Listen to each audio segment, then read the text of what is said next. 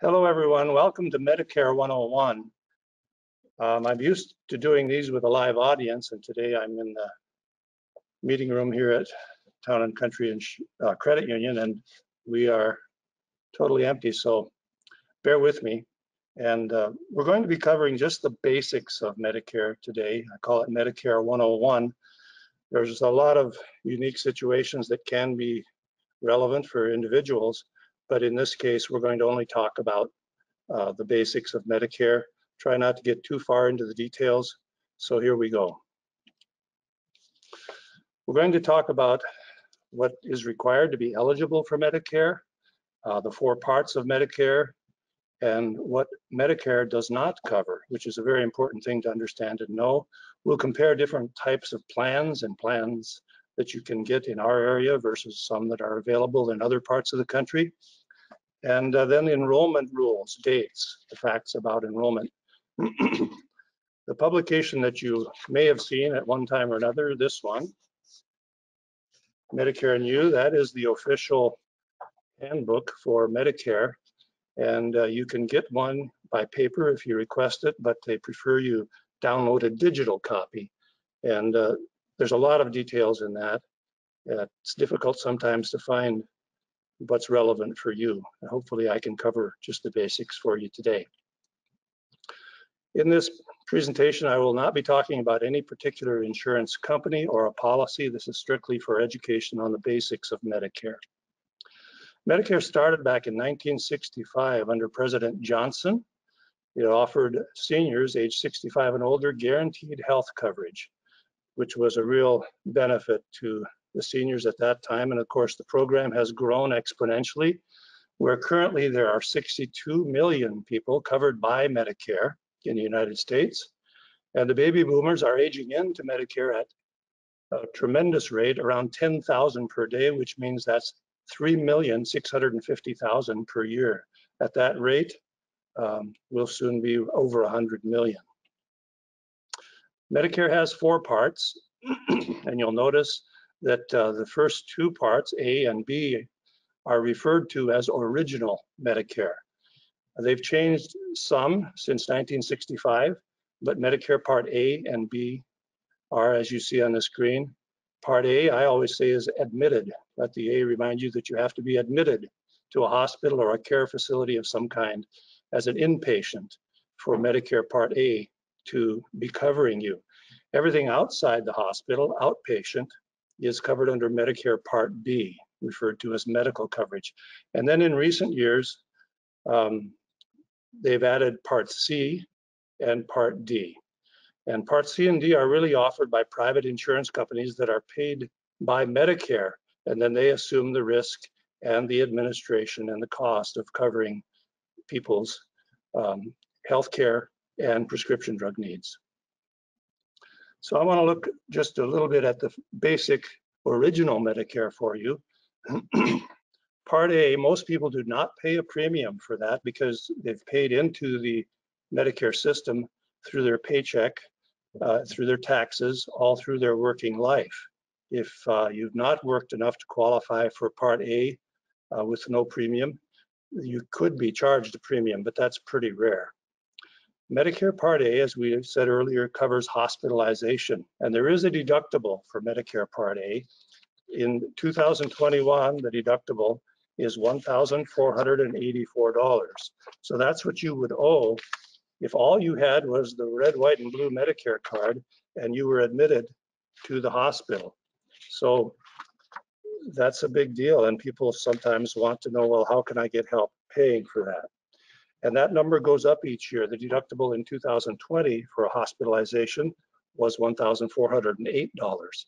And those numbers are set year by year. If you go down to Part B, Medicare Part B, there is a premium, and most people do pay that unless you qualify for extra help. You could sometimes, if you are on Medicaid, get help paying for your Part B premium. The premium for most people this year is 148.50 per month.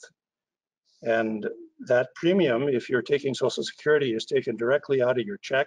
If you've postponed Social Security but are taking Medicare, they bill you quarterly. So it'd be that amount times three.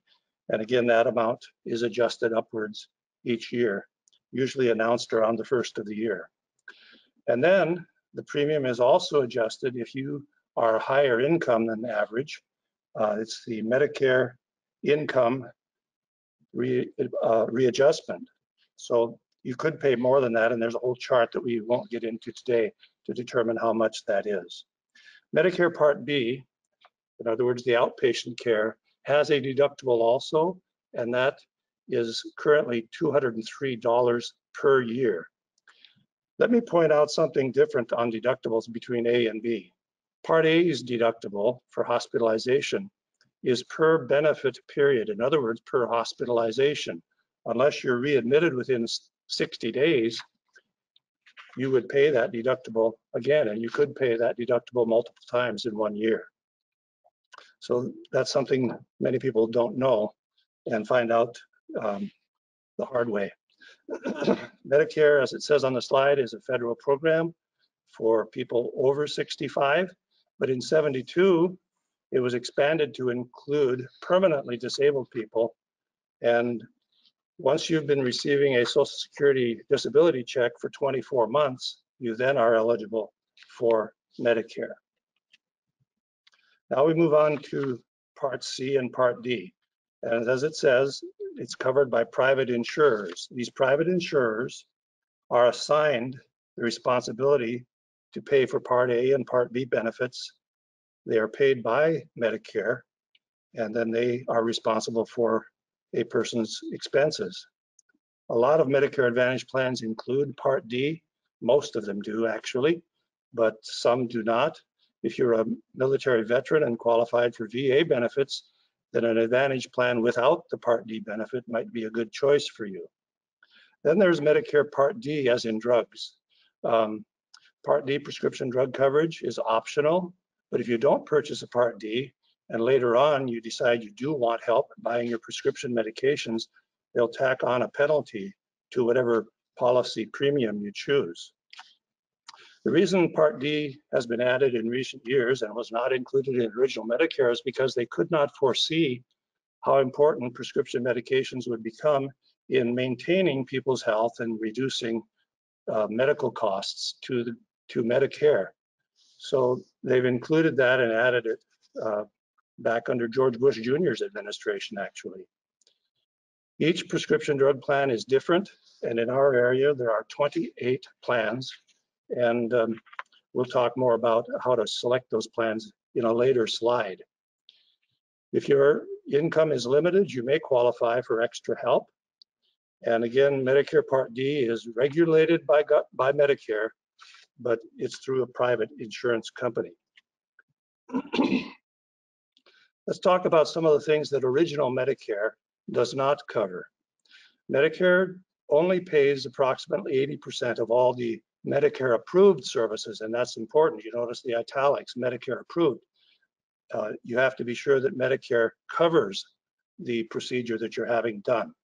And it's important to check that if it's a major thing before you do.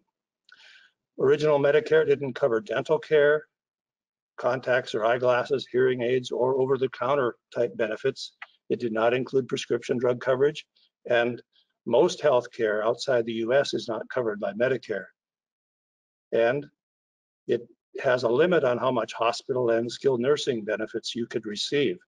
If you exhaust Medicare's um, skilled nursing care or nursing home coverage, then you either pay the bill out of your own pocket until you've spent down and qualify for Medicaid, or you perhaps, if you have an estate to protect and choose to, you can purchase a long-term care policy. Probably the most important point on this slide is what is written in red. With original Medicare, there is no limit on how much you could pay out of your own pocket. Even though Medicare pays 80% of the bill, in a difficult year, of course, 20% could be a huge number. How do you qualify for Medicare? Well, you turn 65 and you then get a seven month window. The three months prior to the month when you turn 65 the month of your 65th birthday, and then the three months following that are your seven month window to enroll. And most people get that done prior to the first day of the month in which they turn 65. That's preferable. Otherwise, you'll have a gap in coverage unless you continue employer coverage. the other enrollment period to be aware of, and this is the one that most people focus on once they're in Medicare, is the annual election period. At this point in time, you can change plans as, as much as you want, and you can choose between cost plans, Medicare Advantage, Part C plans, or Medicare prescription drug plans. It's a very busy time of year, and it's important to start early if you want to get the help you need. Then there's the open enrollment period for Medicare Advantage. This is not used very much as long as someone uh, gets it done correctly during the annual enrollment period, but you are allowed to make a one-time change even after uh, December 7th if you are in a plan that you have later changed your mind and decided you don't want. There are special election periods that people can qualify for. There are several of them, but I've listed only the three main ones. The one that happens quite frequently in our area is people who retire after age 65 and are losing their employer coverage. If you're in that situation or soon will be, it's important to handle that very well. And a lot of the trouble people have getting set up properly is in this area. A lot of people postpone Medicare and Social Security, and those two decisions are separate issues. But if you're going to start Medicare, uh, you need two forms, and you can get them from the Social Security Administration website. One is your Part B application, where you specify when you want your Part B coverage to start, saying when your employer coverage will end and when Medicare needs to kick in. And then also you will want to request the employer information page because with that, your employer can um, document that you've had coverage and don't owe a penalty for enrolling into Medicare after age 65. You'll notice the asterisk there where I say call the local Social Security office. You're much better off dealing with a local office. Um, you won't uh, need to wait quite so long for responses and you just get more personal help locally. Another special enrollment period is if you move to a different part of the country and um, sometimes even from one county to another, the plans that are available are different and you are required to change to plans that are available in your area. And the third one on the screen is someone qualifying for extra help. If you have a, a reduction in income, uh, you may qualify for extra help choosing a Part D plan. And in that case, uh, you have a special enrollment period. Let's talk about some of the late enrollment penalties. Uh, there are a lot of questions about this. Uh, Part B, someone who continues to work past age 65 and has employer coverage, you do not need to enroll in Part B as long as you have what is called, important word, creditable health insurance coverage through your employer. In other words, it's at least as good as Medicare coverage, and you will not owe a penalty for not enrolling in Part B. If you have creditable coverage, there's no sense purchasing Part B at 148.50 or more per month because you won't be using it anyway. You postpone that and start Part B when you lose employer coverage. As I said earlier, when to enroll in Medicare and Social Security, those are separate issues and personal decisions. And it's very important to know how to navigate those to do what's right for your particular situation.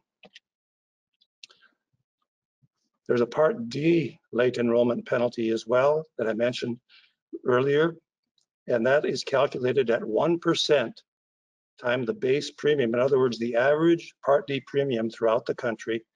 They multiply it by 1% and they tack it on to whatever plan you choose and the premium that plan has. So that changes each year because the average Part D premium goes up each year, so your penalty won't be the same forever, but it will stick with you as long as you continue to have and need Part D coverage.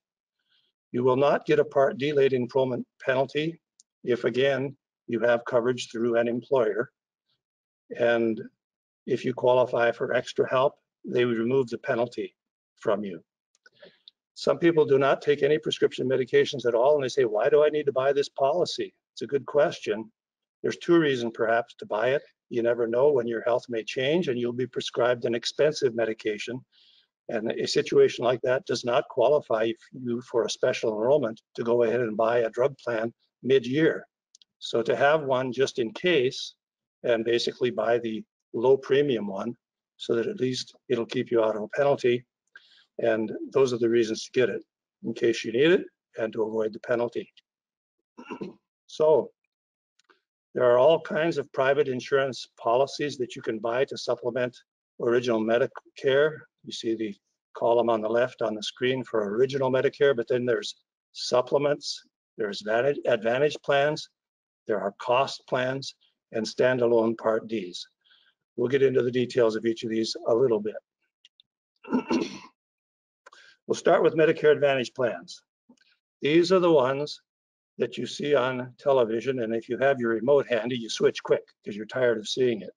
Um, I do this a lot, and I don't enjoy the commercials any more than you do. So what to know about Medicare Advantage? First of all, they're offered by private insurance companies who are paid by Medicare to assume the risk and the administration of caring for your healthcare costs. Medicare Advantage plans are far more common in large cities. There are none available in the Minot area or Northwest North Dakota during this year, 2021. If you lived in Fargo and Bismarck, you would have several to pick from. I can explain that in person if you want, but it gets a little complicated. Many of these Medicare Advantage plans have zero premium plans. They simply take what they get from CMS, the Center of Medicaid Serv Medicare Services, and they charge nothing in addition. But they provide all the services that you normally get under Medicare Part A and B, plus they usually throw in some extra things uh, like dental, vision, and hearing. You're eligible for it. They don't ask your age or your gender. Um, the only question they'll ask is if you have end-stage renal disease. In that case, there's another program for that, and you would enroll in that. You have to reside in the correct county or area in order to enroll in a Medicare Advantage plan. The benefits on a Medicare Advantage plan can vary quite a bit. Comparing them is important. But the biggest point about a Medicare Advantage plan, when you, you think about having Medicare only, just original Medicare. There are maximum out of pocket limits. In other words, if you have a lot of expenses, once you hit that maximum out of pocket, then the insurance company has to pay the entire bill for the rest of the year, which is a real peace of mind for people um, rather than having no limit if you're only on Medicare. Medicare Advantage plans, you still are in the Medicare system with all the rights and protections that Medicare gives you. Um, you can choose a plan with drug coverage or without. And like I said earlier, um, most of these plans add extra benefits, vision, dental, fitness club, all those kind of things. And when you have a Medicare Advantage plan, you will get billing and you will wonder exactly what you owe and I'll give you just a basic advice. On a Medicare bill, you'll see three or four columns with numbers. The, the amount that the provider is charging, the allowed amount, in other words, the amount that the clinic or doctor or hospital knows they're going to get paid, then the insurer responsibility, in other words, the portion of that amount that the insurance company is going to pay, and finally, your responsibility. The bottom line is this, when you get a medical bill, wait until all the charges and the insurance payments have been processed and documented on your bill. I call it the Medicare billing pinball machine. Let it kick it around for at least a month or two, perhaps even three, and then question whether it's correct. And then you can pay the bill. Another type of plan is a Medicare cost plan and Medicare cost plans, again, they're offered by private insurance companies. The premiums vary by plan. And again, they're not based on your age or your gender. They work with Medicare A and B. No questions asked about your health except that end-stage renal disease question.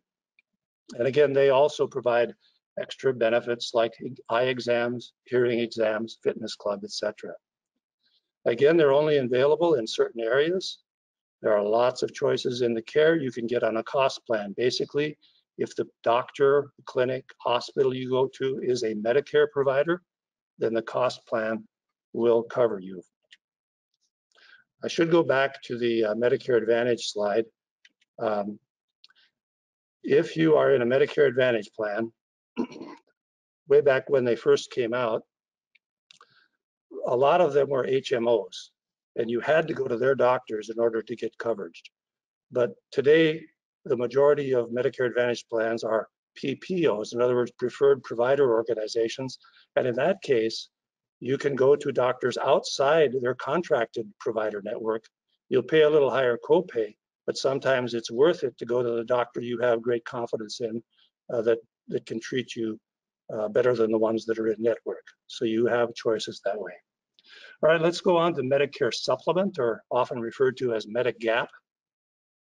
These again are offered by private insurance companies. These do not get paid by Medicare. They simply stand alongside and the trigger for them to make payment is if Medicare pays, they're required to pay.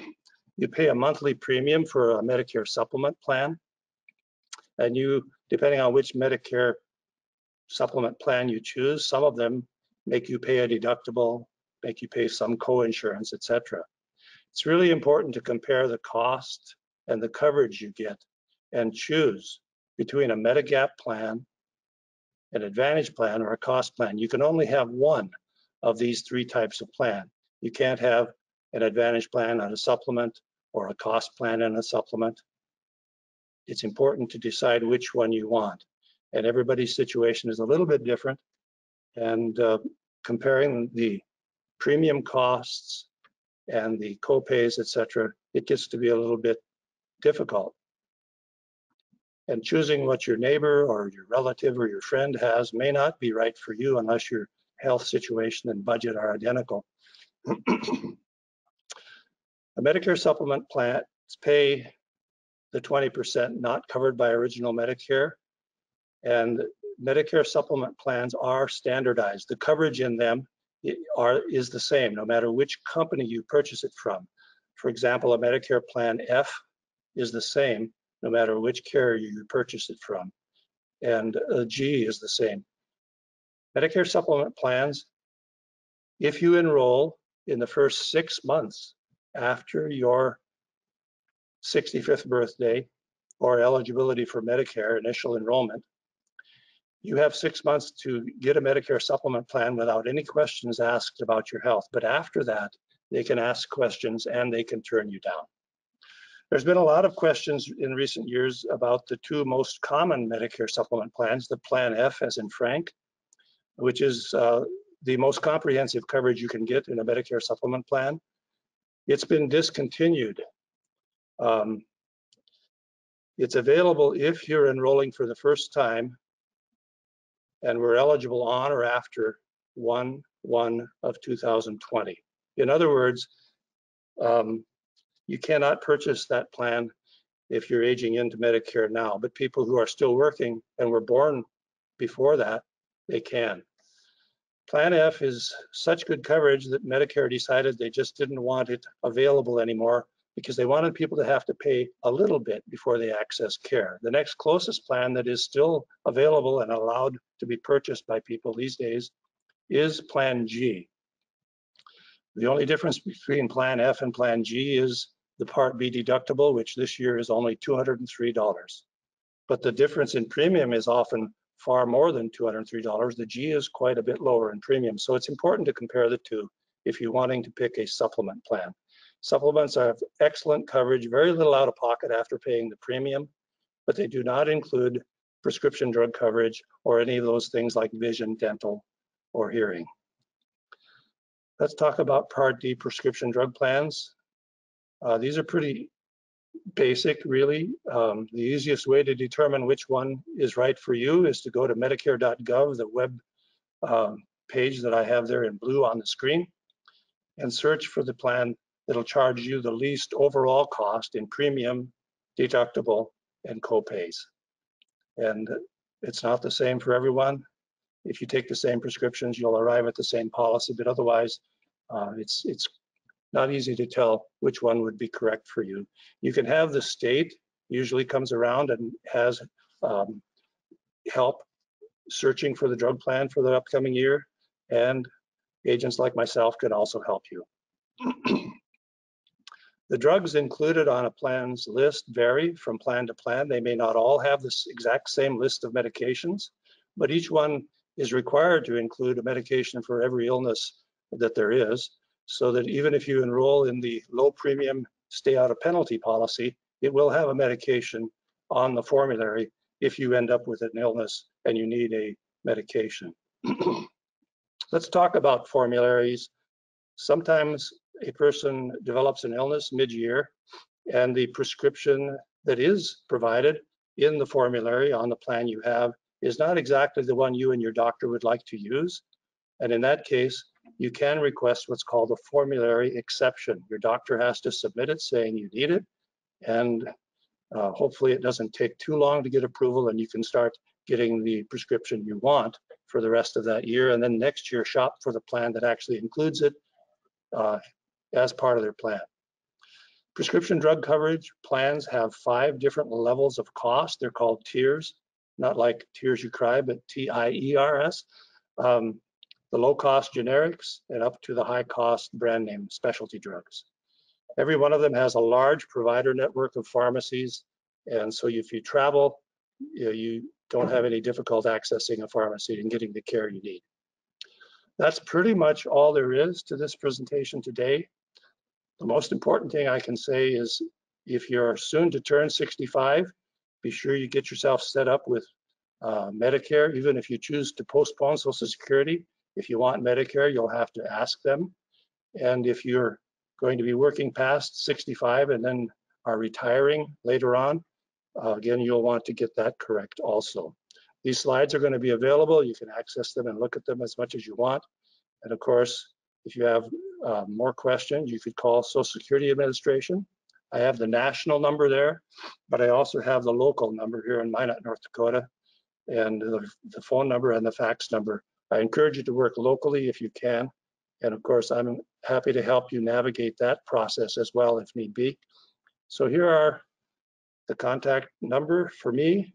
If you have any further questions, just feel free to call. There's no obligation, there's no cost. We can look at your unique situation and find out the combination that's correct for you. Thank you.